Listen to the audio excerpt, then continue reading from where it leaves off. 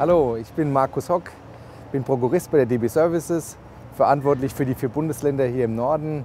An 3000 Standorten arbeiten wir bundesweit, haben 9300 Mitarbeiter aktuell, Fachkräfte sowohl für die Reinigung wie für die Technik im Einsatz.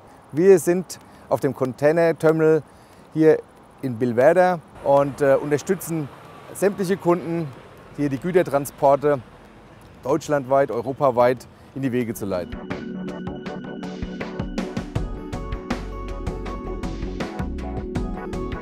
Unser Kunde ist Teil einer hochkomplexen Lieferantenkette, die dafür verantwortlich ist, die Stadt Hamburg mit Gütern zu versorgen. Wir sind verantwortlich für die technische Instandhaltung aller Anlagen äh, und bewegen uns dabei auch in unterschiedlichen Gewerken der Elektrotechnik, der Hydraulik und äh, auch in Schlossertätigkeiten. Wir selbst sehen uns als Stellschraube und als Schmiermittel im täglichen Betrieb dieses Terminals.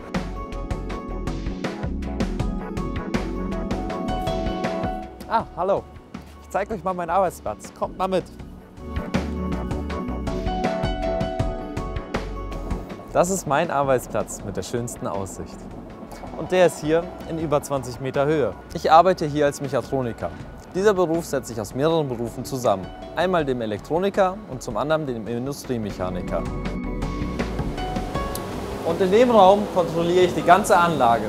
Hier zum Beispiel können wir mittels einer Software den gesamten Kran überwachen.